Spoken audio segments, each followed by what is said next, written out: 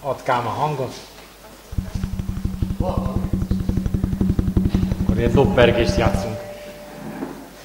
Nagy örömmel látlak benneteket, kedves hölgyek, urak! Dolgozzunk egy kicsit, és nagyon zengőse vetted Kálmán, és így olyan csenges az egész ilyen után, utánzengéses lett. Tehát dolgozzunk egy kicsit. Itt mindjárt föltettem egy ilyen képet, ez egy, ez egy ilyen érdekesség, ugye? De egy könyvről fogunk most beszélni, és az a könyv ez most jelent meg, itt van. Én lektoráltam, tehát úgy eléggé benne voltam a témában, és az az érdekessége, hogy ezt egy református lelkész írta, aki, aki tud óhéberül, ógörögül, meg latinul is.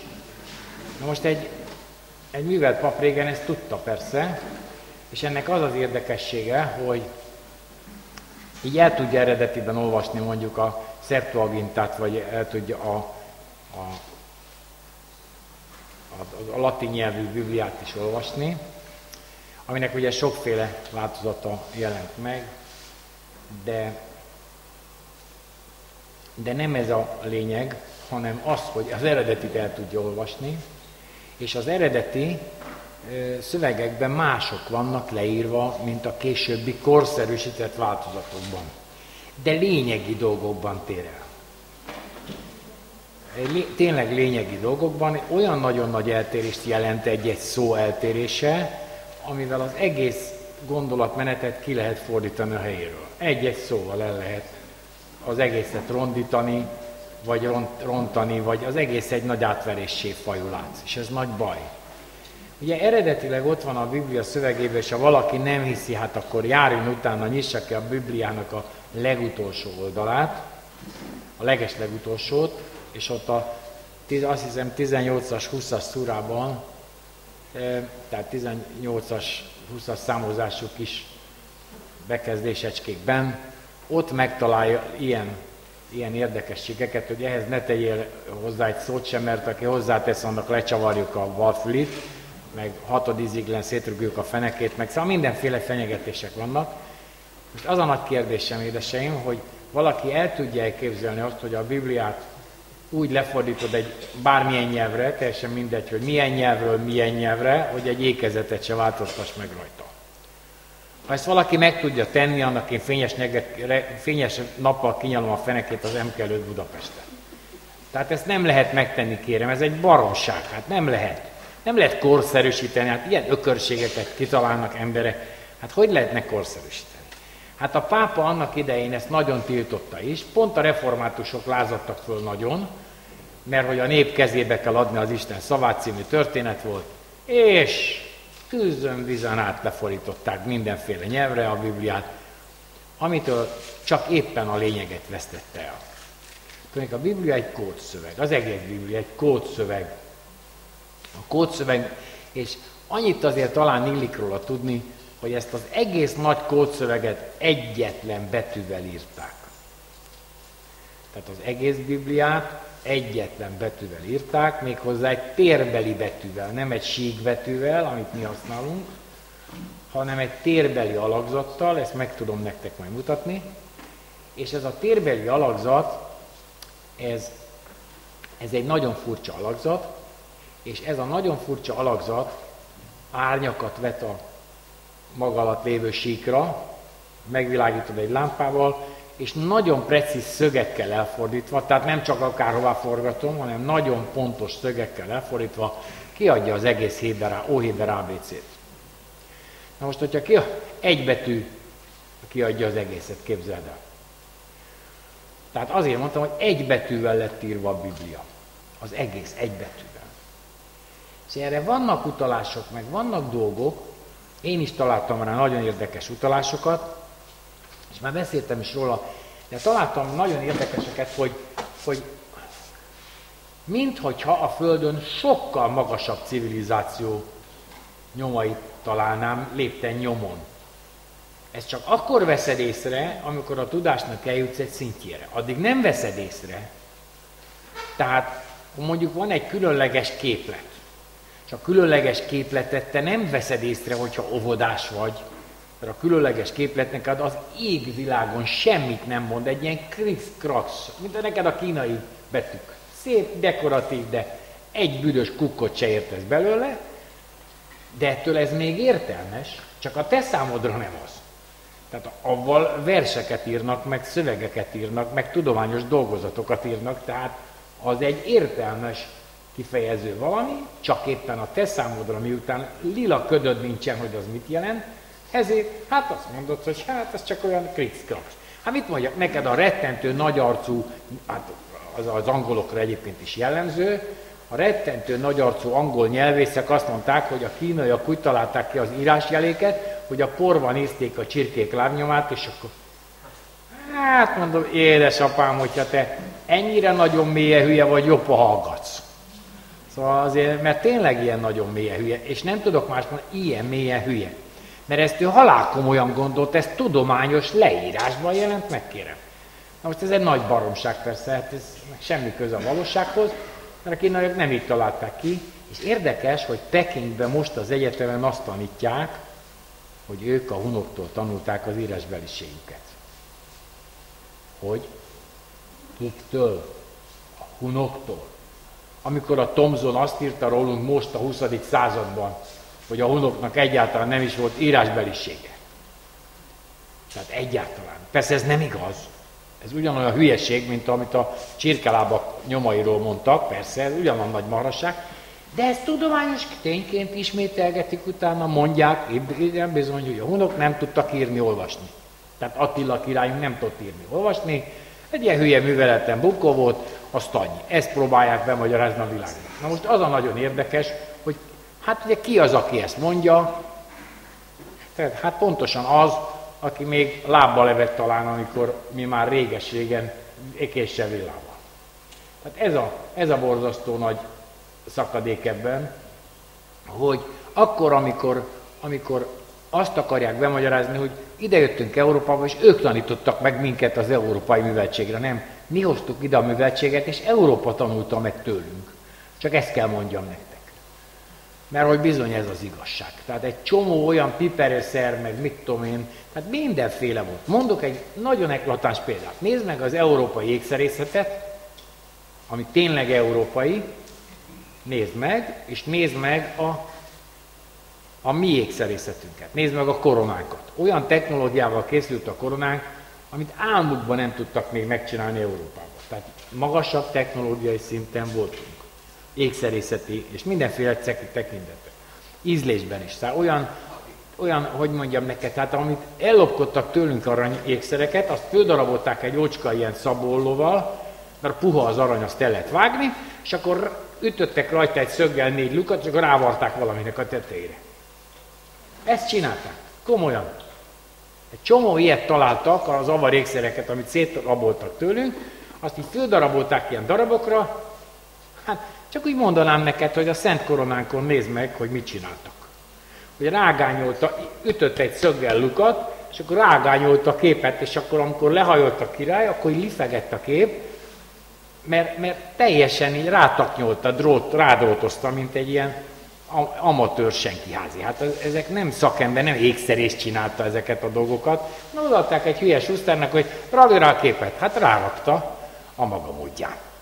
Hát ezért a képnek a közepébe beleverte a szöget valahová, mert ő úgy gondolt, hogy azt úgy kell.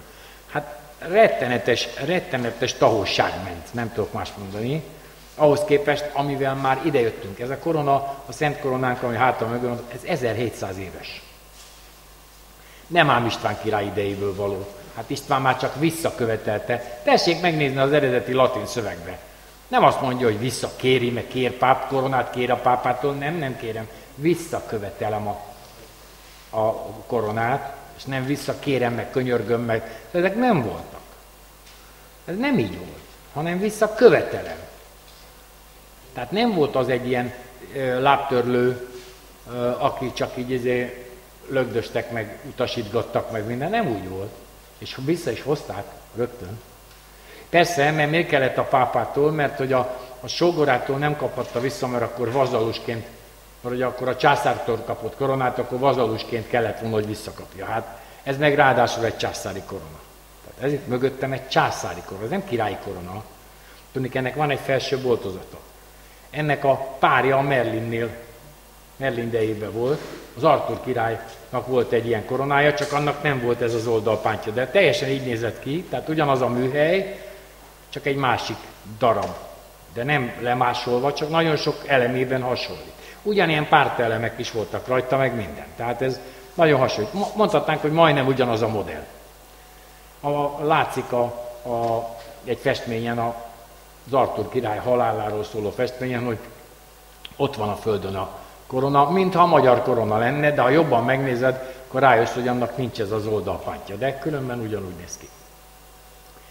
Tehát arról, arról kezdtünk beszélni, hogy ez a lelkész, ez fölfedezte, ez a Kopács István nevezetű lelkész. Mondhatnám, hogy öreg barátom, mert már sokszor voltam nála, nagy szeretettel fogadott mindig, és hát dolgoztunk együtt, hogy ebből azért legyen egy könyv. Így is elég redundáns lett, tehát ha valaki olvassa, akkor ez azt jelenti, hogy hát vannak benne ismétlések, mert hogy ezt 50 éven keresztül írta. Na most, ha valaki valamit 50 éven keresztül kotlik, hát akkor abban lesznek ismétlések. Ilyen rögesztmeszerűen ismételni a dolgokat, de ennek ellenére borzasztó izgalmas dolgokat fedezett föl, bizonyítható erővel fedezte föl, és a lélekvándorlásról és a lélekről is nagyon érdekeseket ír. Lélekvándorlásról, de ez egy református lelkész, ez nem buddhista. Ki is közösítették, kapott is a szájára az egyháztól, persze, mert hogy, hát persze úgy, úgy ment nyugdíjba, mint papsza, nem annyira közösítették ki, de félreállították azért ilyen hát, hátsó helyre, pontosan azért, hogy ne sok vizet zavarjon, de ő ennek ellenére nagyon művelt volt, és hát az egész életét erre a munkára áldozta, és meg is van az eredménye. Tehát egy olyan időszámítást fedezett föl, először maga sem hitte el, hogy ez így van, amiben egészen hosszú időintervallumok vannak, de nem, szóval nem kevés, hanem hát ilyen másfél-két milliárd éves. Két milliárd, nem millió. Ugye a milliárd az ezerszer a millió. Az a milliárd. Tehát ezer millió az egy milliárd. Tehát az nagyon sok. Képzeld el, mennyit sikasztottak ezek akkor. Emlékszel? Mert itt 20 milliárd, ott 20 milliárd az 20 ezer millió forint gyerekek. Hát elképesztő pénzeket sikasztottak. Ezt a proletár szegény már nem is érti, hát a szót sem érti, hogy milliárd. Nem érti. Azért beszéltek a televízióban állandóan tízezer forint csikasztásokról. Hát miért beszéltek? Azt érti?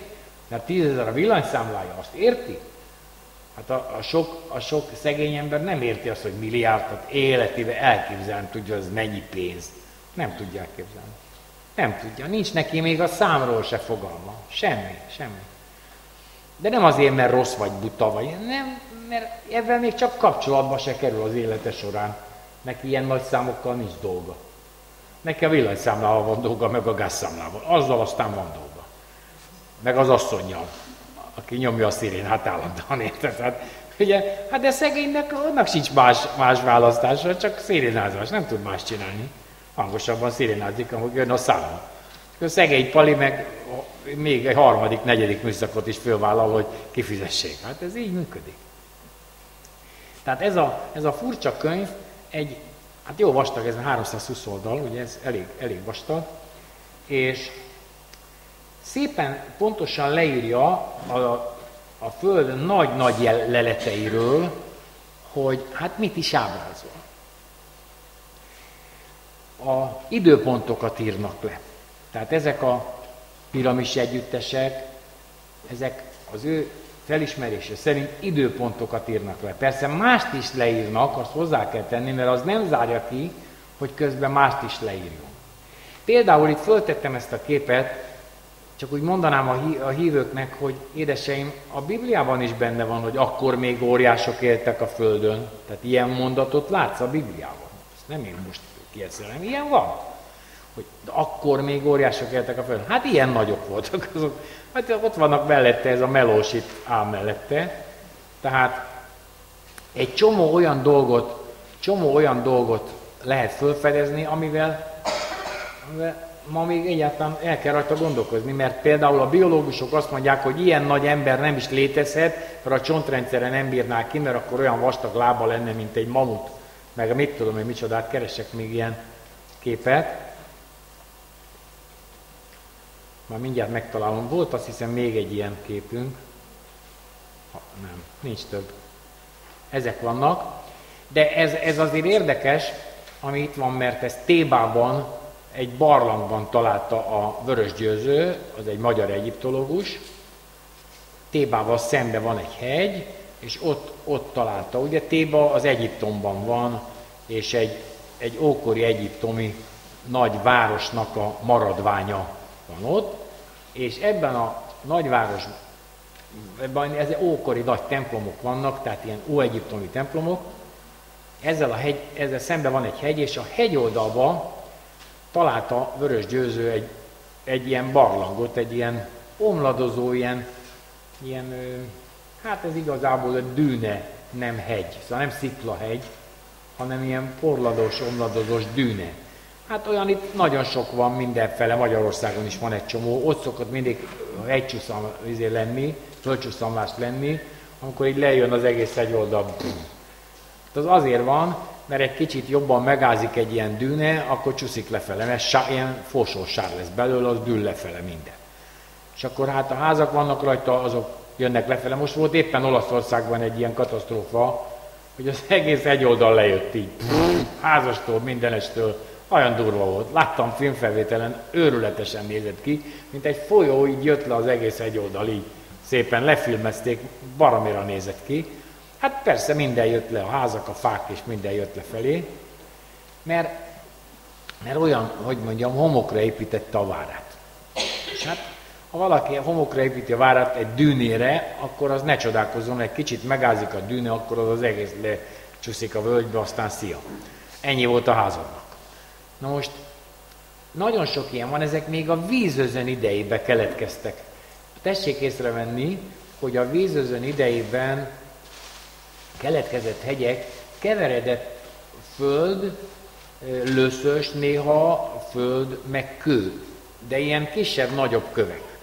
Csak hogy így nem rendeződik a természetben, még egy dűne se rendeződik így, tehát a, olyan nincsen, csak akkor, hogyha őrületes nagy szökőár tolja maga előtt a, a mindent, az aztán nyom mindent, visz, visz követ, földet, mindent, és akkor egyszer csak lerakja valahol. Amikor a lendületét veszti, akkor lerakja valahol. És akkor keveredve van a föld meg a kő.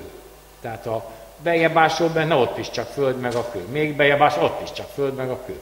Az egész hegynek gondolt valami, az nem hegy, hanem egy dűne. Tehát egy kupac, ilyen sár meg kő együtt. Na most ez egy ilyen hegyben van ez a kis kápolna, ilyen eléggé rossz állapotban van ez a vörösgyőző idejéből származik, és itt már, itt már látszik, hogy villanyvilágítás van benne, meg kirestaurálták, látod, itt már megcsinálták.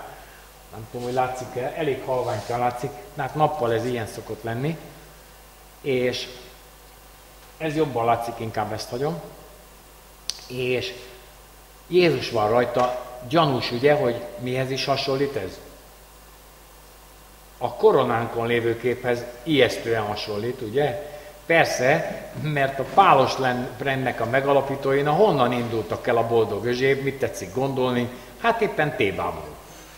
Éppen Tébából indultak el a boldog özséb, vagyis, hogy hát, kérem szépen, rögtön rámondták, hogy ez egy kopt keresztény templom, rögtön rávágták, maga Vörösgyőző is rámondta, mert, mert hogy Egyiptomban a kopt keresztények vannak. Most a kopt keresztények is érdekesek, mert voltam a, a kiállításon, a kopt kiállításon volt a, a múzeumban egy kopt kiállítás, a szépművészetiben, voltam rajta, de nagyon érdekes volt, mert kíváncsi voltam én, és gyakorlatilag csak egy valamire mondták, hogy régebbi, mint Jézus születése, az összes többire meg nem. Tehát ebben egy ilyen érdekes tendenciát lehetett felfedezni, mintha a kereszténység csak Jézus születésével indult volna el. Ez ma nagyon divatosan elterjedt ilyen sunyi gondolat, hogy igazából csak akkor beszélünk kereszténységről, akkor mindjárt Jézusról is beszélünk. Na most az a nagy harci helyzet, hogy Jézus már megkeresztelték. Ugye ez a nagy harci helyzet, ugye a keresztelő Szent Jánost akkor kikeresztelte meg, ugye az a kérdés. Hogyha Jézus alapította az egyházat, akkor Jézus miért felnőtt korában keresztelték meg? Ez a kérdésem, ugye? Ez az első érdekes kérdés, mert hogy erről nem nagyon szoktak beszélni, úgy elsumákolják. Hát nem beszélnek róla, de kérem szépen, hát az a kérdésem, hogy na jó, hogy akkor, hogyha a keresztelő Szent Jánost akkor kikeresztelte meg, mert azt is, tudva, azt is tud, tudni lehet, hogy az az egyház, akihez, akihez aztán ezáltal Jézus tartozott a kereszténység kapcsán, ez az egyház, ez nagyon régi. Ez nagyon régi, és ez éppen egy szkita egyház. Ez, a, ez az egyház, és még az eredeti elemei most is működnek ott, ott Kis-Ázsiában. Tehát most is működnek. Megvannak az eredeti egyháznak, de az az egyház bizony már nagyon régi, mint hogy ugyanolyan régi, mint a miénk, mert hogy gyakorlatilag egyszerre lett ez alapítva. Nem ez a most újra alapított egyházunk, hanem a régi, a régi egyházunk, ami most ugye 6052-t ír március 21-e óta. 6052 az már bizony úgy benne van a korban, hogyha meggondolod, hogy az egész időszámítással körülbelül egy kaptafába esik, ugye mert az időszámításunkat is olyan 6000 évre teszik valahová, az egész a teremtést magát is 6000 évre teszik, ami részben igaz, bár ez már ez a 6000, ez 7000, de, de attól függ, hogy a vízözön utáni vagy a tűzözön utáni teremtésről van szó, mert a, a tűzözön az 7000 évvel ezelőtt volt, a vízözön meg 5. E, akkor, amikor a tűzözön volt, akkor, akkor a Földön összesen olyan 16 millióan éltek, és, a, és akkor, amikor a vízözön volt, addigra megint 11 millióra szaporodott a föld lakossága, de hozzá kell tenni, hogy sok beköltöző is volt. Mint ahogy a beköltözések, ezek még a mai korban is voltak, tehát még mondjuk 3-400 évvel ezelőtt is földön kívüli csoportok költöztek be a földre. Mondjuk a tuaregek ilyenek. A tuaregek azok egy nem túl régen beköltözött földön kívüli faj. Furcsák is a maguk módján, abban a fekete burnuszba járnak, a sivatagba. A tuaregek a legjobb tudomásom szerint a Siriusnak a Sirius rendszernek a harmadik bolygójáról jöttek. A négerek is onnan jöttek, onnan származnak, és a, a szeretik a meleget, mert az egy marha meleg bolygó, ahhoz képest itt hideg van.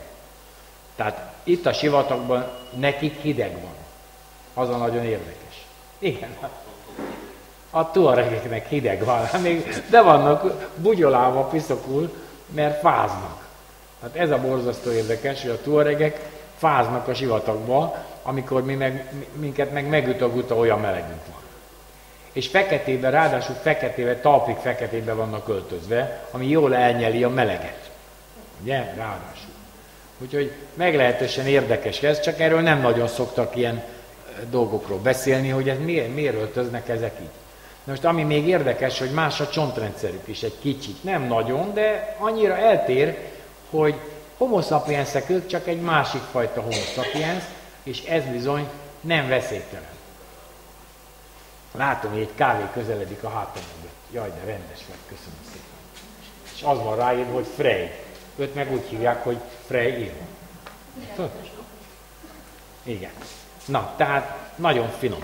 Tehát a lényeg, hogy ezek a tuaregek, ezek, ezek úgy költöztek be, talán 3-400 évvel ezelőtt, tehát nem nagyon régen költöztek be, de a mai napig is költöznek be, mert mit tudom én, vagy 2000-en költöztek be a Marsról. Az körülbelül olyan a 70-es években. Azok az, az 51-es körzetbe költöztek be az amerikaiaknál, ott Új-Mexikónál van, ott költöztek be az 51-es körzetbe, vagy 2000-en még amerikai útlevelet is kaptak. És ezek, ezek magyarul beszélnek. Vagyis, hogy egy, a magyarnak egy nagyon régi változatát beszélik, de te még megérted. Tehát ha beszélnek hozzád, akkor nem adnak el. Tehát amikor beszél hozzád, érted, hogy mit beszél. Annyira. Olyan, mint egy nagyon erős tájszólás lenne, de ugye kicsit egyezed a füled, akkor már érted, hogy mit akar. Na most ez, ez azért nagyon érdekes, mert nem túl sok nyelvvel vagy így.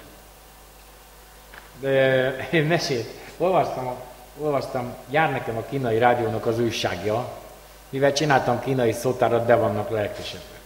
És a kínai rádiónak a szótár, a szótár fölkeltette a figyelmét, a kínai magyar szótáram, és írtak meg, meg, én is írtam nekik. Na most a lényeg, meg néha még cikkeket is írtam a rádiónak az újságjában, meg is jelent. És az volt az érdekes, hogy ott egy, a Magyar Rádiótól mindig egy-két ember volt kint, lektornak, hogy az ott tanuló kínaiak, ott magyarul tanuló kínaiak helyesen írjanak, meg helyesen beszéljenek magyarul, és ezért a rádióban nyelvgyakorlatokra, meg mindenre. Volt mindig kint ilyen frissen diplomázott fiatal ember, ott volt, és ez magyar, magyar volt, mindig kettő is szokott kint lenni, ilyen szerkesztőnek ott van kint, és egyébként az összes szerkesztő kínai, de magyarul beszélnek. Hát olyan furcsa tájszolással, de tanult magyar, tanulták a magyart. De nagyon sokan közülük uh, Siungnuk, a a, a rádióban, a Siungnuk azok igazából az ázsiai hunok. És azoknak nem nehéz megtanulni a, az mostani magyart, mert az nagyon rokon nyelv, az a Siungnu, de azért nem nevezném magyarnak a se, Mink a Hyungyelik vagyunk, a kínaiak úgy hívnak minket, hogy Hyungyali. X-el írják Hyung, Ja, Li, így, így írják le. És ezek a nyugatra szakadt hunok, akik mink vagyunk, mink vagyunk, ugye? És az a nagyon érdekes, hogy ez a hölgy, ez kim volt már egy, mit tudom én, egy jófél éve, egy éve, kim volt Kínába, Pekingben, és a piacra kiment valamit vásárolni, és és, és akárhogy mondta ő, neki mandarinból az a hivatalos kínai nyelv volt nyelvvizsgája, és, és, és akkor megpróbált beszélni a, a piacon mandarin nyelven, de senki nem értette. És akkor már, már teljesen be volt indulva, hogy mert valamit akar, mit a káposztát akart venni, és sehogy se akarták megérteni, hogy mit akar. És már olyan rendesen magyarul elkanyarította, hogy nagyot káromkodott, és be volt indulva már, és és nagyot káromkozott, és azt mondták neki a kofa, na ezt értjük. Ettől teljesen kiakadt, mert, mert hogy magyarul értették, hogy mit mond. Ugye azt írta, hogy hát körülbelül a mandani nyelvet Kínában a fele beszéli a lakosságnak, csak hogy mondanám. Tehát kínaiul csak a kínaiak fele tud. A másik fele nem is tud kínaiul. E, akik olvasnak is, e, nem tudnak egymással beszélni, mert annyira nagy, hát nagyon nagy ám Kína, őrült nagy, és akkora nagy tájszólásbeli különbségek vannak egyes területek között, hogy egyáltalán nem értik egymást, de ugyanúgy írják le, ugyanazt az írásélet használják, és ha leírja, akkor mindegyik érti, hogy mit akar a másik, mert egyébként nem is érti. Na most ez a, ez a nagyon érdekes, hogy azt mondta, hogy hát ha valaki nem tud boldogulni a kínaival, azért próbálja meg nyugodtan magyarul. Tehát ő, aki már egy éve kim volt, azért erre már volt neki tapasztalata, hogy sokan megértették magyarul, hogy ő mit mond. Tudnék, ezek a, ezek a hunok, ezek lényegében a magyarnak, magyarnak a rokon nyelvét beszélik, de annyira rokon nyelv, hogy megérted azért, hogy mi a csodát akar, csak ők még szótagokba beszélnek, és nem pedig szavakba, amit nekünk bemagyaráztak, hogy mi szavakba beszélünk. Nem, minden egyes szótagunknak külön van értelme. És a szótagjaink értelmét, ha összerakod, az lesz egy fogalom, hogy mit tudom én, tavaszi almavirágzás, és ez egy fogalom. De ezt egy írásjellel írják le, de ebben benne van a tavasznak az írásjele, az almának az írásjele, a virágzásnak az írásjele. Ez egy ilyen ligatúra, egy ilyen összevont kupacba összevont írásjel, és akkor ez lesz egy kínai jel. Ezért olyan ákombákon bonyolult, de a mi rovásírásunkkal is lehet ligatúrát csinálni, tehát össze lehet vonni ám a betűket, a mi írásunkban is. Hát, ahogy a kínaiak mondják, hát tőlük, tanultunk, tőlünk tanulták az írásbeliségüket, és hát ugye talán, talán nem tudjátok, de a, az első kínai császár az éppen egy hun volt. Mao Tun, ugye az volt az első, első kínai császár. Tehát az egész kínai császári birodalmat lényegében egy Hun alapította, de egyébként ki, ö, Japánt is. Tehát Japánnak az északi részében még él az a nép, aki az alapító nép volt Japánban, akkor még nem volt ott senki. Tehát ők alapították ott a kultúrát, és aztán rátelepültek egy csomóan, mindenfélék, de, de a lényeg, hogy ott is igazából a hunok jelentek meg legelőször, már nagyon sok ezer évvel ezelőtt. Tehát a, a hunok, a, hát én nem mondom, hogy világbirodalom, de ez a rossz ízű. De, hogy mondjam neked, nem nagyon volt ellenfél. Tehát egy akkora különbség volt, hogy nem kellett harcolni, mert, mert hogy mondjam neked, ha neked egy csúzlid van, nekem egy géppisztolyom, akkor nem nagy harcra van esélyed. Ugye, mert hogyha oda csúzdizol nekem, akkor én visszalövök egyet, azt annyi neked. Arról nem beszélve, hogy sokkal messzebbről le tudlak lőni, mint engem. A hunokkal arra fáztak rá, hogy a reflexi az háromszor olyan messzire vét, mint a normális, szokásos íj. Úgyhogy reflexival végéckedtek a izék, végéckedtek a nyugatiak, hogy látsz idáig, de még mögéd is. Jó, buf, mint az áporeső beérkezett, a, beérkezett a egyszerre 5000, 10.000 nyíl, és ott hullottak, mint az őszi legyek. Hát, és ezért aztán féltek tőle, mert sokkal jobbak voltak a fegyverek. Egy kicsivel jobb, már csak háromszor olyan messzire visz, már ha ez fölényt jelent. Ez föl, ezek fölényt jelentenek. Na most visszatérve, egy ö, nagyon érdekes dolog lett ez, mert ez a kutatás, ez egyre mélyebbre vezetett az időben. Tehát először csak azt nézegették, hogy óriások éltek, meg mit tudom én, de aztán utána kiderült, hogy meg lehet fejteni az összes, az összes dolgot, amit a Földön találtak. Mit tudom én, a Stonehenge mit jelent? Mi a csodát jelent a Stonehenge? És akkor az az a kőkör, ami a Angliá, Dél-Angliában van, egy ilyen kőkör, azt már úgy gondolom, hogy a legtöbbötök azért láttam, mert ez igen sokszor szerepelt mindenhol, tévében, újságban, mindenben. És itt is ugye miről szól a történet? Még erre visszatérve nézd meg, 64 darab ilyen gyöngyférel ezen a mandorlán, ez egy ilyen, ezt az alakot hívják mandorlának, amiben Jézus ül a trónuson, és 64 dimenzió van. Tehát azt, aki ezt annak idején fölfestette a falra, az a 64 dimenzióról kellett, hogy tudjon, és hogyha azt a koronát megnézed, akkor azon meg 64 csepp alakú almandin van. És aki ezt a koronát csinálta, meg azt a koronát csinálta, az nem egy másik civilizáció. Az nem egy másik civilizáció. Tehát ez, ez ugyanaz a Jézus ábrázolás, nézd meg, egy ugyanolyan fotelon ül, mint itt a, a igen, a koronán egy ilyen fotelszerűben ül, ugye a trónuson, de itt is egy hasonló trónuson ül, még a jelek, a díszek is hasonlítanak rá, és akkor itt mellette egy csillag van, meg egy hold, ami megint nagyon jellegzetes ábrázolás nálunk. A, csill, a, a nap meg a hold, de itt a nap az egy csillag, tudni. Nem tudom, hogy, hogy tudod, de, de hát a nap az egy csillag, csak közel van. Azért annyira nem közel, mert 150 millió kilométerre van szerencsére, mert ha csak 100, 100 millió kilométerre lenne, akkor te már rég grillcsirke lennél, mert akkor itt legalább 200 fok meleg lenne. És nem bírnád ki, már rég grillcsirke lenne belőlem. Tehát, a, az, aki ezt az ábrát ábrázolta, az először is tudta, hogy milyen aurája volt Jézusnak, mert olyan rábrázolta, itt, a, itt az arabok leverték az arcát, mert az araboknál szigorúan vették a bibliai tiltást, nekik is ugyanaz a tiltásuk megvan, hogy az Istent ne ábrázold égre, földre, levegőre, sehová. És tényleg ne ábrázold. Miért ne ábrázold? Ez a kérdés. Hát fiam azért, mert hülye vagy, és úgyis rosszul fogod lerajzolni. De akármit is mondok én neked, te akkor is rosszul fogod lerajzolni. Jobb, ha nem rajzolsz hülyeségeket, mert aztán az bekerül az emberek fejébe, mint a, mondanám, hogy a, a bibliai tiltás ott van a Bibliában, meg tudom én ezt a római pápának is mutatni, ha éppen kíváncsi lenne rá, hogy ott van a tiltás a Bibliában, hogy ne ábrázold az Isten tégre, földre, levegőbe, és éppen a Sixtusi kápolnában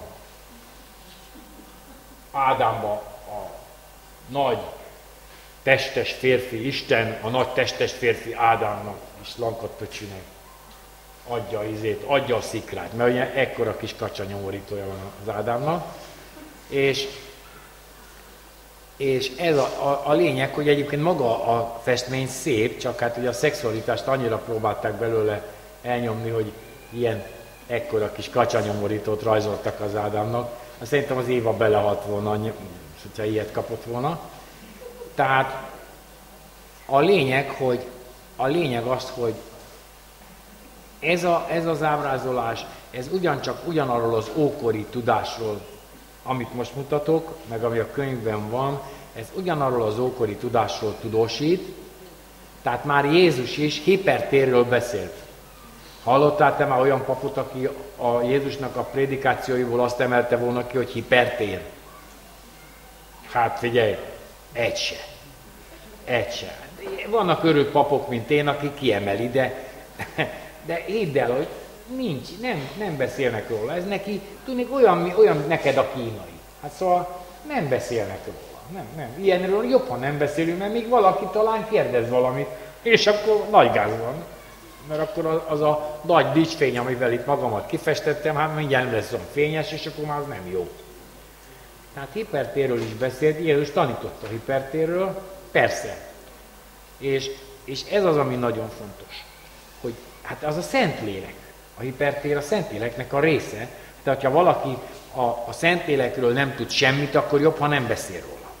De nem tudnak róla semmit. Tehát a Szent Háromság az egy ilyen titokzatos valami vélet festve, hogy, hogy Atya, Fiú, Szentlélek, de ne beszéljünk róla. Tehát jobb, ha nem beszélünk róla. Hát miért ne beszélnénk róla? Hát annál fontosabb nincs a világegyetemben, mint hogy legyen hely.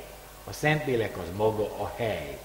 Ameddig nincs hely, nincs létezés. Nincs anyag, nincs fény, nincs semmi.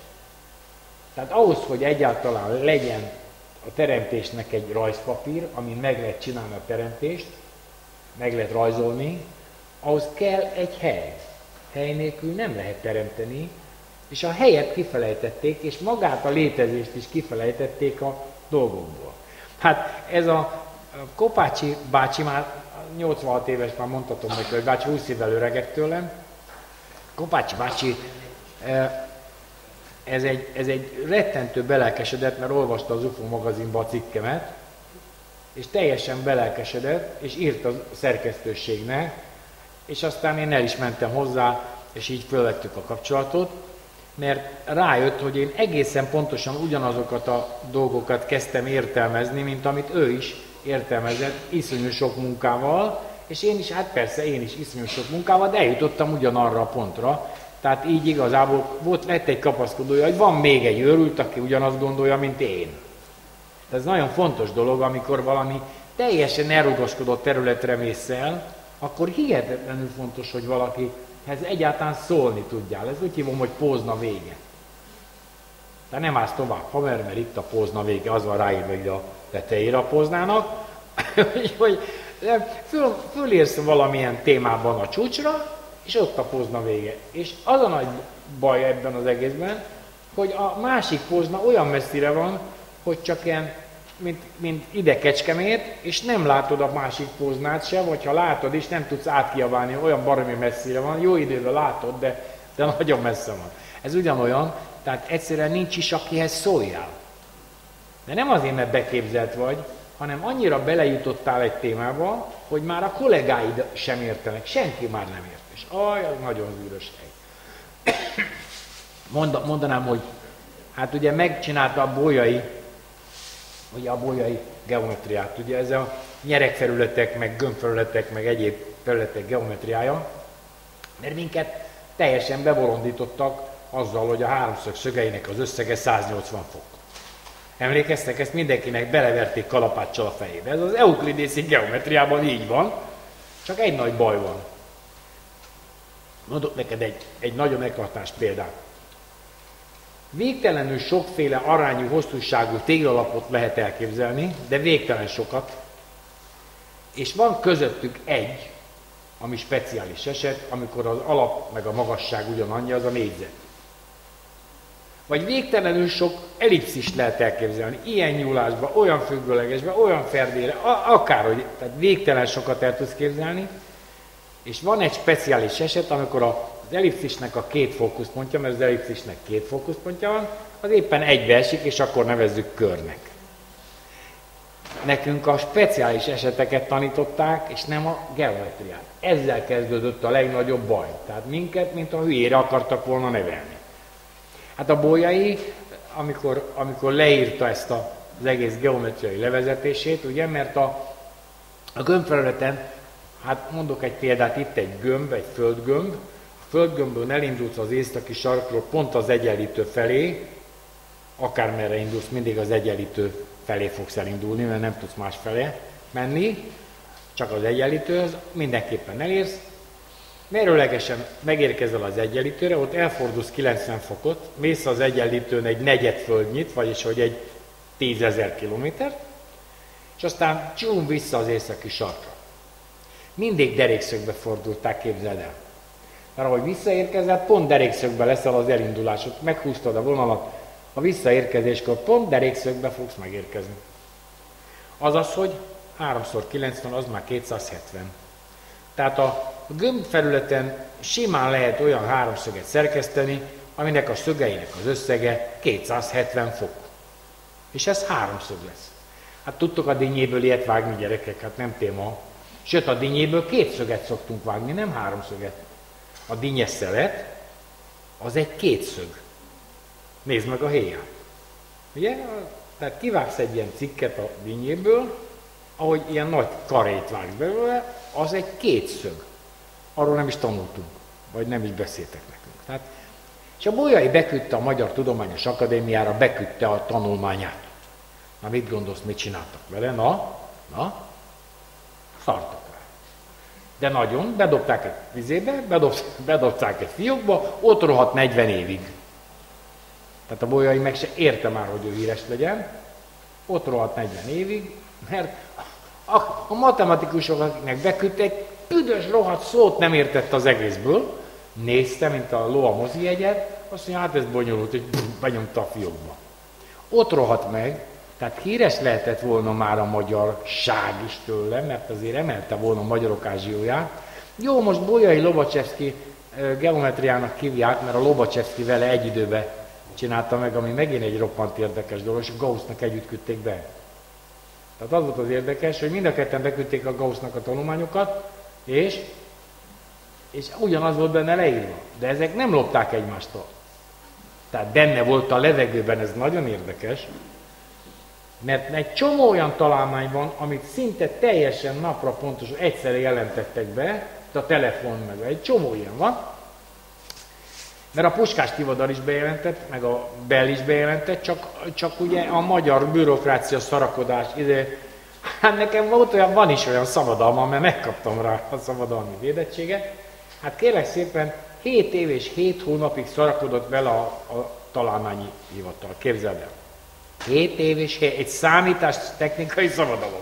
7 év, 7 hónapig szarakodott és aztán megadták, de úgy, hogy kézzel van, ami megjelent, kézzel van belejavítva a megjelent anyagba. Hát ennyire nem lehet hülye, de ennyire hülye.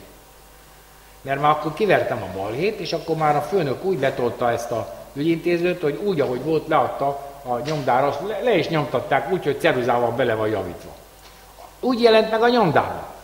Lefényképezték, azt annyi. Hát mondom, ez a nem semmi. Most képzeld el, hogy szarakodtak, hogy tegyek bele ide egy veszőt, vegyem ki egy veszőt. Hét év és hét hónapig ezzel szórakoztak vele. És ez egy számítógépes szabadalom, ami egyféle alkatrészből áll. Most, ha valaki ennél jobbat tud tervezni, az nagyon ügyes. Mert hogy az egyfél-féle alkatrészből nem lehet már valamit megcsinálni, ez egyféle alkatrészből van az egész számítógép. Hát ez a szőkenőknek meg az űrhajósoknak van. Ugye? Mert azt már nem tudja rosszul összerakni, hát egyféle van benne. Hát nem, nem oda tetted olyan, de hogy nem, akárhová tetted, ugyanoda kett, ugyanúgy követed. Úgy van megcsinálva, hogy, hogy bárki össze tudja rakni, nem kell hozzá szakértelem. Ilyet kell csinálni, nem olyat. Egy űrhajónál, figyelj, hát elromlik valami űrhajónál, mondjuk a Jupiternél, hát, hát ott dög lesz meg. Hát gyerekek, ott nem az, hogy na jó van, bevisszük a szerviző, igen, tényleg, úgy megdög lesz, mint a húzat. Hát ha elromlik egy géped, amivel vezéred az űrhajót, mindent, ha, azt ilyen tekerőszámolóval nem nagyon fogod megcsinálni. Felejtsd el. Tehát itt vannak a, a bajok, hogy az emberek ilyen egészen őrületeket találnak Mivel, képzeld el, hogy mivel akarsz te vezérelni egy űrhajót, amikor olyan szarok a gépeink, hogy nem működnek még egy-két évig se. Hát akkor hogy akarsz te valamit, mit tudom én, 40 évig vezetni, vagy 150 évig? Hát 150 év alatt ezek a műanyagok, ezek szétmálnak, te málik szét, mint a szar, ez semmire nem jó. Hát hány ilyen műanyag szarot tört már szét? Tudod, hogy úgy szétválik. Hát a, a szivacs, vagy a izé, vagy a, a lakótelepi, a lakótelepi padlószőnyeg, mint eklatás példája.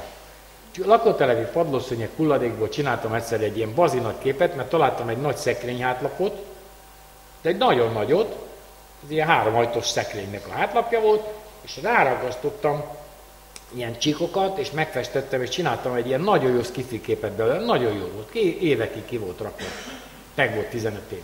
Mi? és aztán már tönkre ment, de mi volt az érdekes, hogy arra ember nem lépett sose arra padlószőnyegre, mert az ilyen hulladék volt, amit ott eldobáltak. A fiaim elhozták nekem, mondtam, hozzatok ilyen csikokat.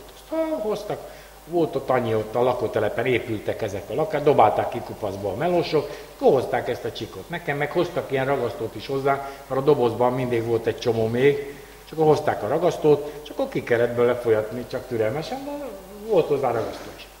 És a lényeg az, hogy hát ugye de 15 év múlva megnyomtam, olyan volt, mint a, mint a győri kex.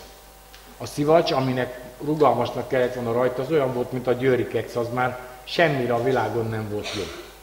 Tehát így málott szét, ilyen porrat szét az egész. Már nem volt semmi. És képzeld el, mondjuk az űrhajót szigetelése, ajtónál, mit tudom, hogy tömítések, ilyenek. De, de mi van 20 év múlva? Akkor is tömít? Biztos? Hát én nem vagyok róla meggyőződve. Miből csinálod a tömítést? Ugye?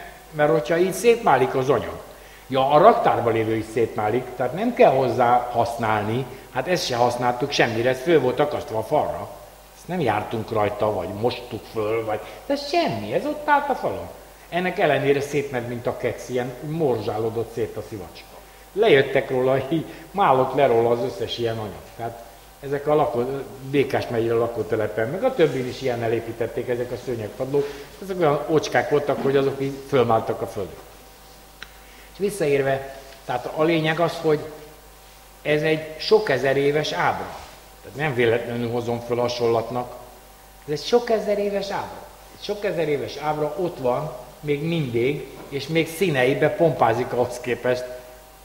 De egy sok ezer éves ábránál ez nem semmi, hogy milyen festékkel használsz.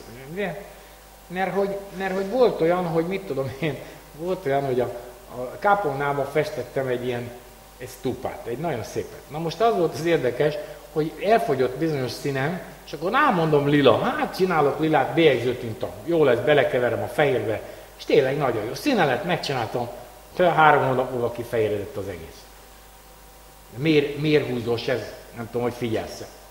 Mert az a bélyegző tinta, amely ráraktam a bélyegzőt valamire, ha fényéri, három hónap múlva eltűnik a bélyegző. Három hónap múlva eltűnik a nyomtató festék. Eltűnik. A papír üres, ezt találkoztatok ilyennek könyvelésnél? Bizony. Hogy bizony, ha nem, én mindig, mindig, ahogy megkapom a számlát, lefénymásolom. Ráteszem a fénymásoló, nem fog elhalványodni, mert az műanyag, fekete műanyag por, az nem halványodik el.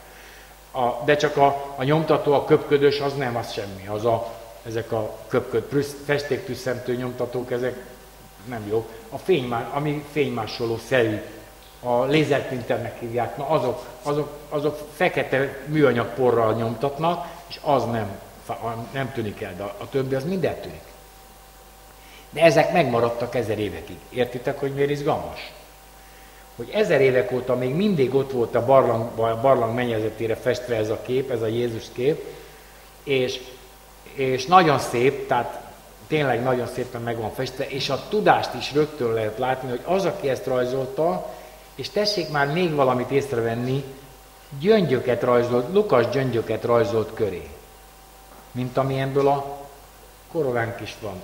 Az bizonyára nem a szegénység miatt tett rá Lukas gyöngyöket, mert csak használt gyöngye volt, Biztos, hogy nem. Egy király azért nem ennyire csóringer, hogy ne legyen neki egy marék gyöngye, hát ezt nem hiszem el.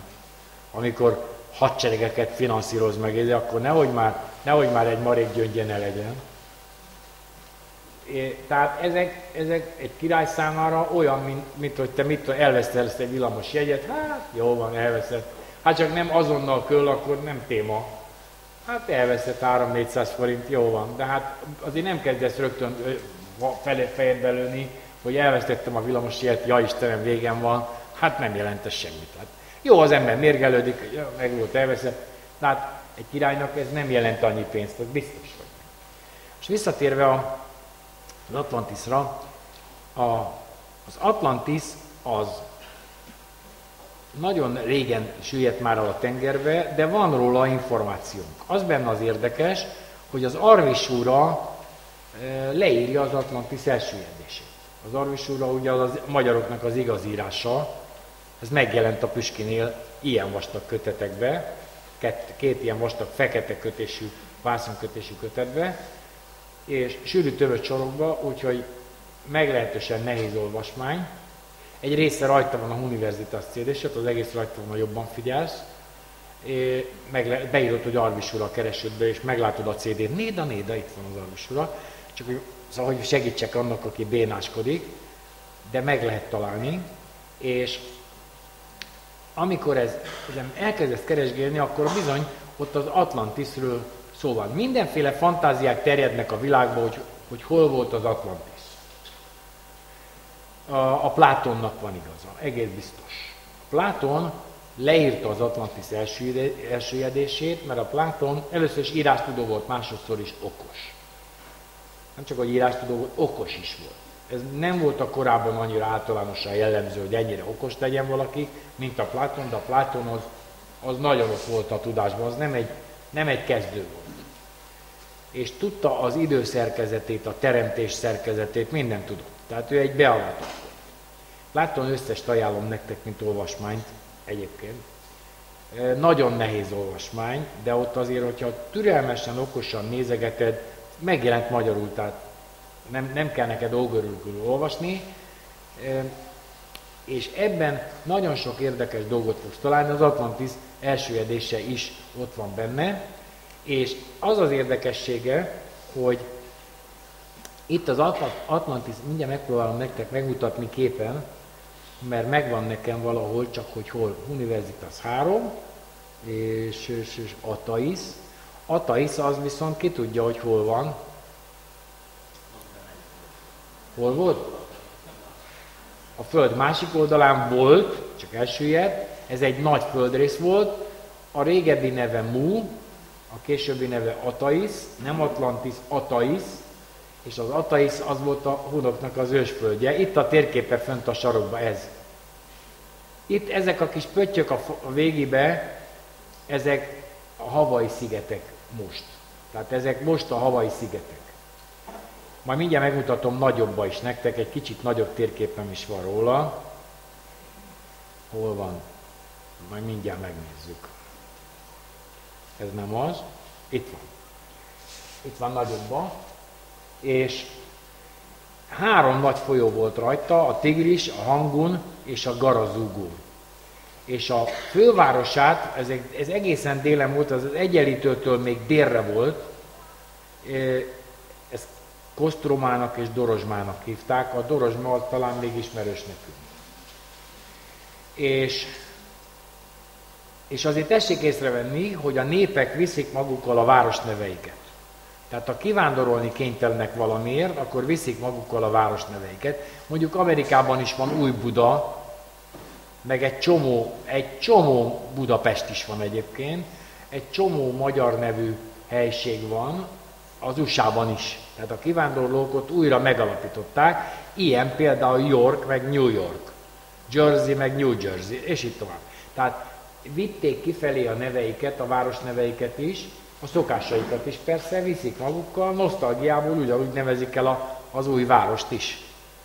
Tehát, hogyha elköltöznek, na ugyanígy hoztuk magunkkal még földön kívülről is a, az elnevezéseinket, mert hogy, mert hogy az nekünk fontos volt. Most ezen a, ez az Atais nevezetű sziget, ez már igen régen süllyedt el, és meg lehet találni a, az Arvisurában, hogy, hogy mit, mi történt itt. 7000 évvel ezelőtt, hát ez éppen a tűzözönnel van kapcsolatban, amit nektek meséltem, ugye? Itt, itt van a szövegben, hogy 7000 évvel ezelőtt következett be a nagy kataklizma, itt van a, a szövegben, és megrendült a föld, háborgott a tenger, a vulkánok tüze pirosra festette az esti égboltot, később, a később érkezett hajósok hozták a hírt Úr népének, az Úr népe, ez az Úr városa, ez ugye Mezopotámia.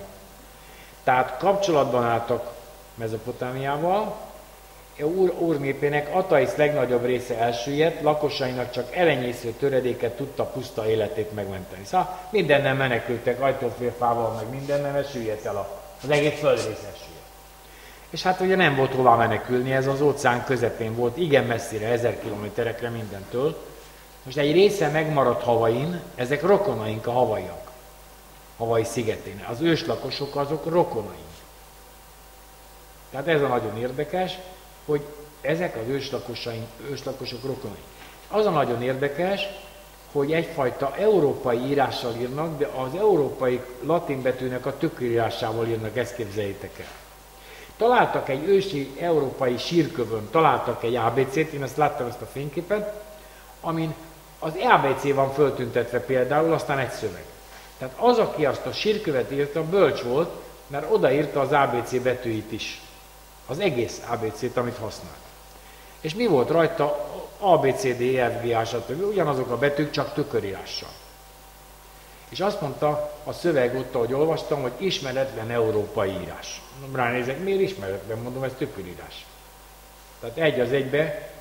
És tessék észrevenni, hogy a, a rovásírásunk is tükörírás. Észre tetszettek venni? Hogy a rovásírásunkkal balról jobbra is lehet írni, meg jobbról balra is. De amikor jobbról balra írok, akkor a, tudom, az A betű az nem erre néz, a háromszög rajta, hanem nem erre. És így tovább. Tehát a nem tükörszimmetrikus betűk, azok megfordulnak. Tehát balra fordulnak, balra néznek. Érdekes, ha figyelsz egy picit, ugyanez a jelleg, ez az ökörszántás jelleg is, meg az egyéb ilyen leírás jelleg, az ökörszántás azt jelenti, hogy hol jobbról balra írok, hol bar, jobbról balra, balra, jobbra, jobbra, balra. És ez az ökörszántás, amikor így, így írok. Hogy sor végére írok, akkor megfordulok, azt elkezdek tükörírásra jönni vissza. Aztán megint erre írok, megint erre írok. Ezt meg lehet csinálni. A nyomtatók csinálták, a Matrix nyomtatók, emlékszel, hogy zi, zi, zi, zi, de visszafele is nyomtatott. A régi Matrix nyomtatók, akik még találkoztak ilyennel, az a, én csak szögbelövőnek hívtam, mert ilyen pöttyökkel írt, és a szögbelövős nyomtatók azok így oda-vissza írtak már a jobbak. Mert a rosszabbak előtt mindig kocsi visszát csináltak, a jobbak meg már rájöttek, hogy sokkal gyorsabban tud nyomtatni, ha nem azt az időt, ameddig a kocsit visszaviszi a sor elejére, azt is nyomtatásra használja, csak visszafele.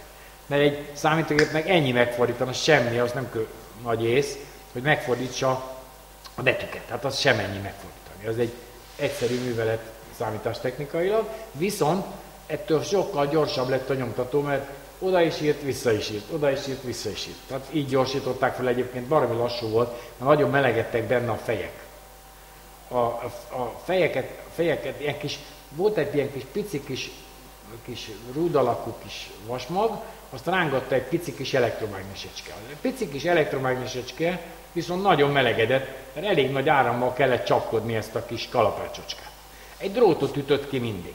Na most az volt, az volt neki a izé, hogy ha túl sűrűn írt, tehát nagyon sokszor kellett neki ütni, akkor nagyon melegedett a fej, akkor meg se lehetett fogni, olyan forró volt. És a, például a DZM nyomtatót, a lengyel nyomtatót, az, azt már olyan szar karakterekkel csinálták meg, hogy a viszintes irányban nem tudott nyomtatni rendesen, csak minden második pöty volt kinyomtatva, mert különben baromira melegedett a nyomtató. És akkor kollégáim, csináltam egy karakterkészletet, én csináltam a magyar karakterkészleteket először egyébként az országban. Tehát az igazságügyminisztériumnak a karakterkészletét, meg egy csomó, nagyon sokat. Tehát vagy az országban legalább 50-60 vállalatnak én csináltam az ékezetes betűket, és így a magyar szabvány is tulajdonképpen a szabvány, hát legalább a 85%-a, az ott vannak a betűk, ahová én tettem. Valamikor ezelőtt, 25-30 évvel ezelőtt, amikor oda tettem, na ott, ott is van most.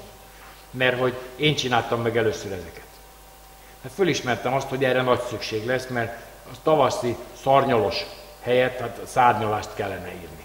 Úgyhogy, meg ahogy át a, hát igen, mert az ékezetes betűk hiányoztak, és akkor ebből roppant konfliktusok voltak, és, és akkor ettől kezdve, hát ezt a Arany is eljátszották a nyomdászok, hogy kinyomtatták a tavasszal a Tavaszi Szárnyalás című versét egy ékezet hibával, fú, olyan botrány lett, még per is lett belőle. Úgyhogy igen, igen. A mocsok nyomdászok tavaszi szarjolást nyomtattak, és kész volt a botrány. Na, tehát az volt a lényeg, hogy az volt a lényeg, hogy ez az Atai ez a sziget elsüllyedt, és a tudás is elsüllyedt vele, mert itt rengeteg sok tudás volt felhalmozva, de a tudás is elsüllyedt vele. A maradéka, mert hogy már előtte is volt egy nagy balé, tehát előtte is volt tűzözön, rég, még további 7000 évvel régebben, tehát ilyen 13.600 évvel ezelőtt is volt egy nagy balhé, meg még régebben is voltak ilyenek már a Föld történetében. Ugye azt mondtam, hogy ez a hatodik Föld már. És érdekes módon, ha, ha utána nézel egy kicsit a görög mitológiába, akkor abban például ilyenek vannak, hogy az istenek a földet szétosztották egymás között, darabokra vágták, szétosztották egymás között, ez is kapott egy darabot, az is kapott egy darabot, mint a parcellákat mi. Szétosztották, mert hogy a Föld eredetileg sokkal nagyobb volt. És a sokkal nagyobb Föld maradékai azonok, amin élünk most. Tehát ez a, ez a nagyon érdekes, hogy, hogy a görög mitológiában megmaradt, a féton katasztrófája megmaradt, és itt van. Na most ezek, a, ezek az érdekességek, hogy, hogy akartam nektek mutatni a, a holdat, ugye, de rövidesen aztán Hmm, hol van? Mióta a holdunk, azt hiszem ebben van. Hol van? Nem, ebben van. Nem. De azért ez se, érde, ez se érdektelen. Ez a csepregi pala, amin a, a naprendszer heliocentrikus naprendszer van lett ábrázolva, de ez egy 6000 éves pala. Ha jól látod, akkor ez a Merkur, a Vénusz, a Föld, hol van? Ez a Föld, a Mars, a Féton nincs már rajta, és a Jupiter. Tehát ezek vannak rajta, bizonyára még a Saturnus, Uranus, Neptunus is rajta lehetett, de a lényeg, hogy ez egy üzenet egy katasztrófáról. Ez még megvan. Ja, és az írásaink is megvannak, amik ezzel teljesen egyidősek, és űrhajók vannak rajta, mert hogy a bolygók, látod, a bolygók egyik bolygóról átment a másik bolygóra, lehet látni, hogy űrhajóknak a útvonala van lerajzolva, meg olyanok, hogy á, gyerekek, szóval ez az egész meskete az evolúcióról, meg a fejlődésünkről, meg az egész úgy, ahogy van, ez a történészek szép irodalmi kitalációja. Ennek egy kis részét igazolták, a másik részét meg hamisították. Annyi. Nincs tovább. Ennyi. Hamisították. Vagy nem értették, és akkor hetet havat összehordtak. Tehát amikor a bizonyítás aztán elindul, akkor aztán az nagyon, nagyon messzire fog vezetni.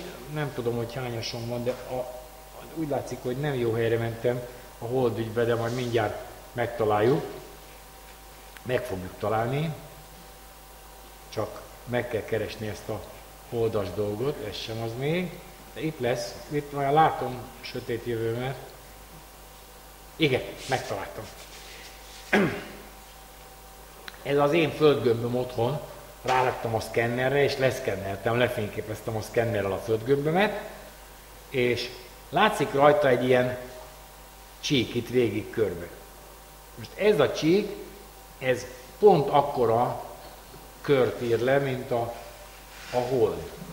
És itt ment neki a zöldfoki szigeteknél a hold a Földnek, hát ez már 7000 évvel ezelőtt volt, és őrületes nagy katasztrófát okozott. Szóval nem kicsit, tehát nem az van, hogy kis árvíz van, nyugátakat csinálunk, nem, nem. Szóval olyan hullámok csaptak át a Földön, hogy háromszor körbe járta a Földet.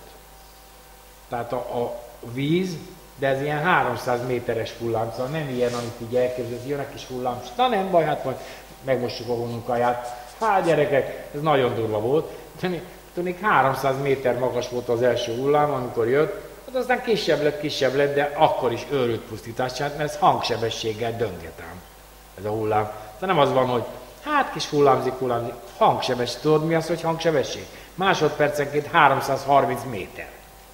Most a másodpercenként egy víz jön 330 métert és 300 méter magas vízfal, akkor tudod, hogy egy ilyen épület, vagy ez mit, mit csinál. Hát lefröcsköli a pályára, letarolja úgy, mint ott se lett volna. De a betonépületet is, minden. Hát az őrületes nagy erő. Az őrületes. Ráadásul ugye a fajsúlya sem a víz fajsúlya, mert tele van sárral. Ugye? Az, az sokkal nehezebbé teszi, legalább kétszer olyan nehéz lesz a fajsúlya, és hoz magával rengeteg sziklát, követ mindent. Na jó, hát ez már meg tudja mozgatni a nagy sziklákat is, nem csak az, hogy kis kavicskákat, ez már nagyon nagy sziklákat is sodor magával, és az már baromi nagy erő. Az nagyon nagy erő. Tehát ilyen sok köbméteres sziklákat is visz magával, és az aztán, mint egy ilyen gőzkalapács mindent letarol. Ahogy megy, az mindent letarol maga előtt, és hát rettentő pusztítást csinált ez a holdütközés, ezért építették a piramisokat. Na most, e, amikor, amikor elkezdte kutatni ez a, ez a Kovács úr a, dolgokat, akkor rájött arra, hogy valami nem stimmel, mert ez, ez sok ezer éves, sok tízezer éves, sok százezer éves, sőt, még annál is nagyobb időkről tudósít.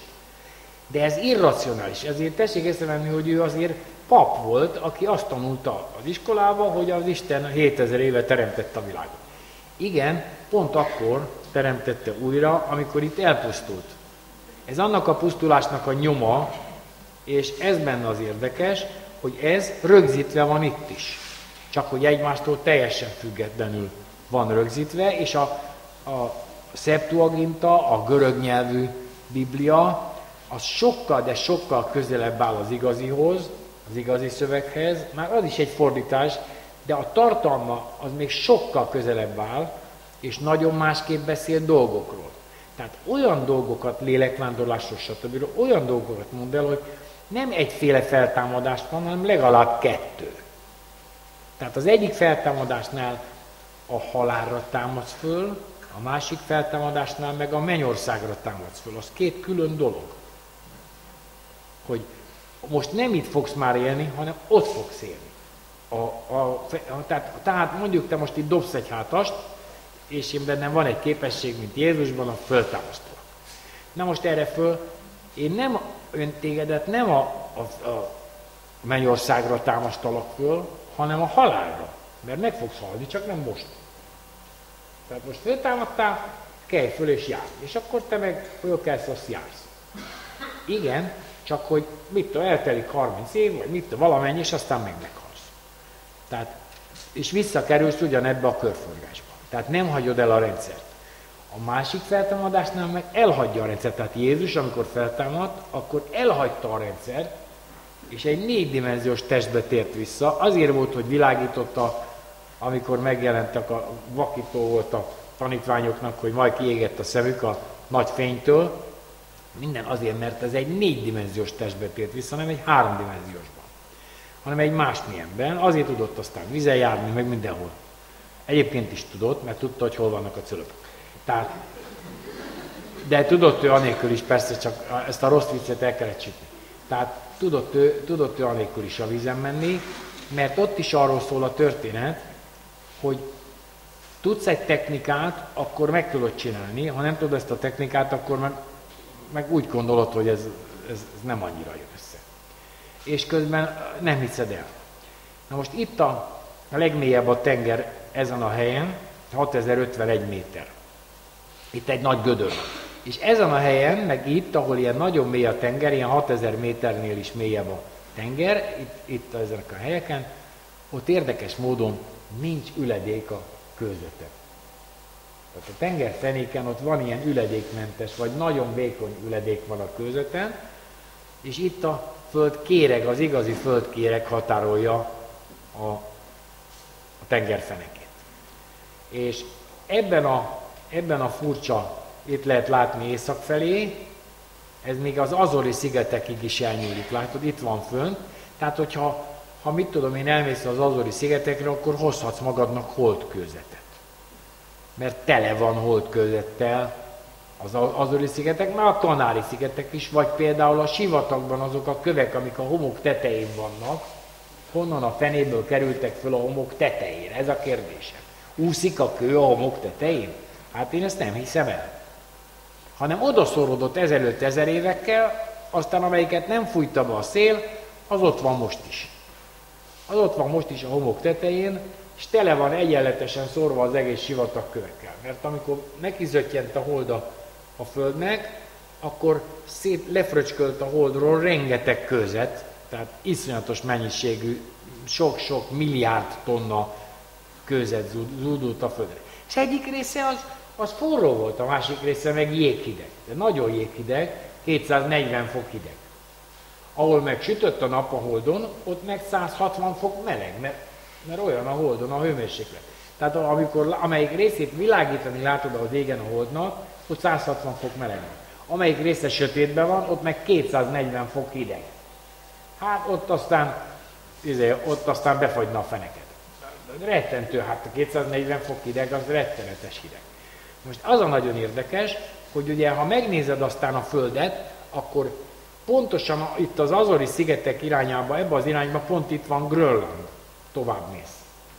Ott van Grönland, oda zúdult a hideg közet, és a, olyan hideg hullámot nyomott rá a mai Szibériára, hogy ott az elef, a, izék, a mamutok állva megfagytak. Tehát nem tudott elindulni se. A fűvel a szájával rágta a füvet a mamut, és így megfagyott, kész. És a mai napig ott áll görcsbe fagyva, csontát fagyva a mamut. Most olvasgatnak ki, egy csomó mamutot kiolvasgattak, próbálják őket föltámasztani. Ott azon dolgoznak. Igen, igen, igen. Hát mert, a, mert olyan, annyira nem romlott meg a mamut, hogy az amerikai, az amerikai régész az, az ott örjömdött, láttam a filmen, hogy tapogatta a mamut oldalát, ami puha volt, látszott, hogy nyomkodja a puha, mert a nap egy kicsit ott megolvasztotta, és szőrös mamut ott volt. A szőrös lába a mamutnak. És nyomkodta, és őrület, hát érzem a szagát, ma érzem a mamutnak a szagát. De nem azt, hogy romlott büdös mamut, hanem a mamut szagot érzem. Tehát nem romlott meg, ezelőtt itt 7000 éve megfagyott, és az annyira csontá fagyott ott, hogy nem romlott meg. Ez egy igazi mirelit mélyütött mamut. Most az benne az érdekes, hogy a genetikai sejtek az ilyen fagyasztást túlélik túlélik, és a genetikai sejtek a mélyfogyasztást túlélik, hát úgyis tárolják őket. Igen ám, csak hogyha a mamutnak a genetikai sejtjei találnak egy hímmamutot, meg találnak egy nőstény mamutot, miért ne találnának, mivel több ezer fagyott ott meg, ezeknek a petesejtjét meg a hímivas sejtjét össze lehet egymással ereszteni, és még talán nemzőképes. Tehát az benne az érdekes, hogy utána beültetik egy elefántba, ami meg fogja szülni a kis mamutot. Hihetetlen? De működik. Hát béranya. Hát most úgy hívják, hogy béranya. Hát beleteszik egy elefántba. Az elefánt ugyan sokkal kisebb a mamuttól, de azért meg fogja valahogy szülni a, a mamutbébit, és akkor, amikor megszült a mamutbébit, akkor attól kezdve már az egy teljes értékű mamut. És ha csinálnak két-három ilyet, föl lehet a mamutokat éleszteni. Úgyhogy, egészen furcsa dolgokra készülnek. Nem véletlenül a Jurassic, meg a filmek, nem véletlenül a Jurassic Park, nem véletlenül keletkezett, mert ezen nagyon dolgoznak. Tehát úgy is mondhatnám, hogy, hogy azért a nézőkkel azért ismertetik, hogy hát, ha egyszer egy ilyen elszabadul a ver, akkor ott nagy gáz lesz. Ugye, mert, mert addig-addig kísérleteznek vele, addig-addig még elszabadul a pokol, és nem vagy rá felkészülve. Hát egy ilyen egy ilyen izé, humán sisű, aki te, figyeld, egy követ nem tud eldobni rendesen, hát nem tud, ilyen kacsázó izé, dob, hát ugye, nem tudja magát megvédeni. Jön egy ilyen ősállat, esélyed nincs. Hát esélyed nincs, hát annyira gyermeteg izé, módon próbálsz, elkezdesz mondani, hogy hes, hes. Vagy mit tudom én, mit, mit fogsz mondani, hát gyerekek, hát esélyed is neki, hogy megvédje magát. Hát ez nem tud harcolni, Hát a városi ilyen süsük, akik ott bent kavarnak a beton rengetegbe, nehogy már, ilyen, futni nem tud, száz métert összeesik. Hát olyan puhány, hogy, hogy ült mindig a tévé előtt, vagy a számítógép előtt. Hát olyan puhány, hogy nem tud száz métert lefutni. Hát komolyan nem tud. Láttam én már ilyet. Ó, mondom, úristen. Hát annyira puhány, hogy az valami egészen szörnyű. Annyira elizéli magát, elkényelmesedik. Hát nézzétek meg, hogy, hogy már klotyóra is autóval akar menni. Hát már Hát nem, hát nem vedd már észre, hogy a klotyóra is autóval megy már. Annyira le kell menni a sarokra, és akkor beül az autójába, azt kell hozni egy kiló kegyere. Azért mész autóval. Hát hamarabb odaérek, mondom, és nem tudsz te menni 100 métert, vagy 150 métert a lábaddal.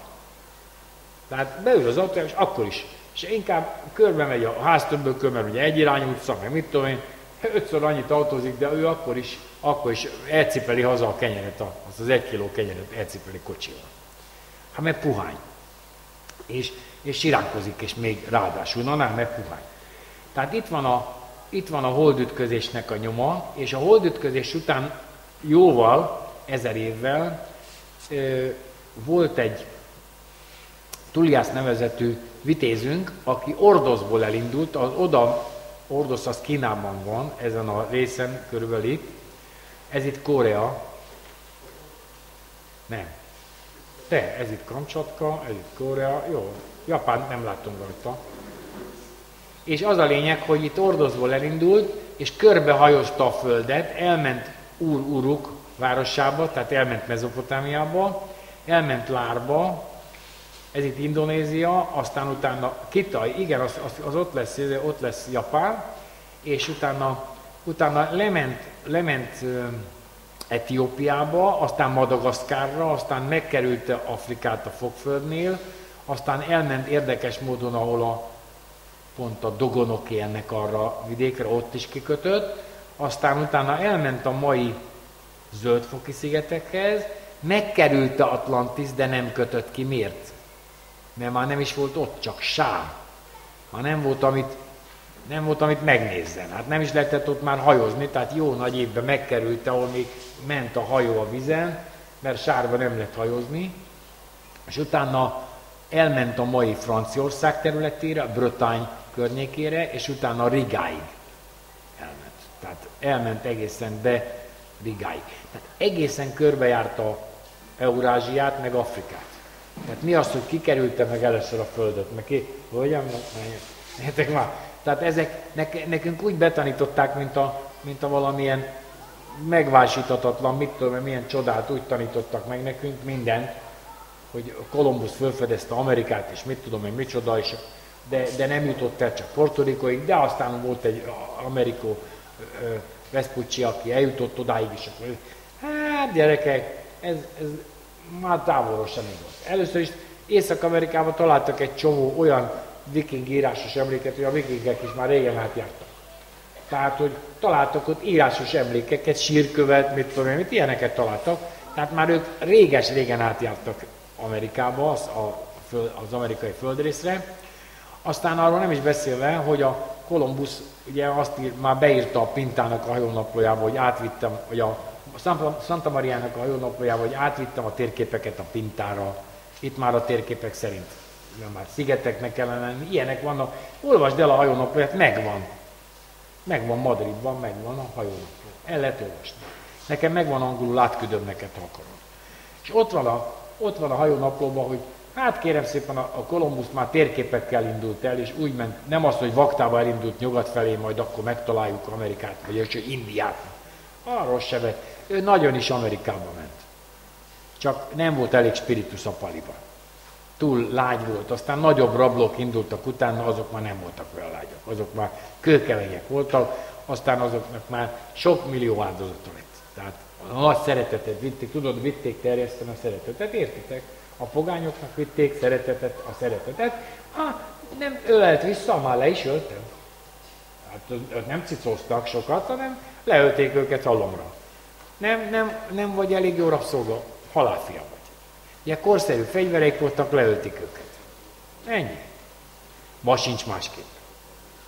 Ma sincs másképp, mert ugye elmentek ugye Afganisztánba az amerikaiak, vagy Irakba, akkor Irakba volt 3000 áldozatuk, mondjuk, a háború első részében, most már azóta sokkal több van, de közben 300 ezer irakit vallanak be, de szerintem 3 millió fölött van az áldozatok száma. Tehát a gátlástalanul lemészároltak mindenkit, azt akkor red volt. Hát így gondolták ők a szeretet terjesztését, meg a, meg a demokrácia terjesztését, hogy mindenkit leülünk, azt aki megmarad, majd demokrata lesz, az olyan demokrata lesz, hogy hajjaj.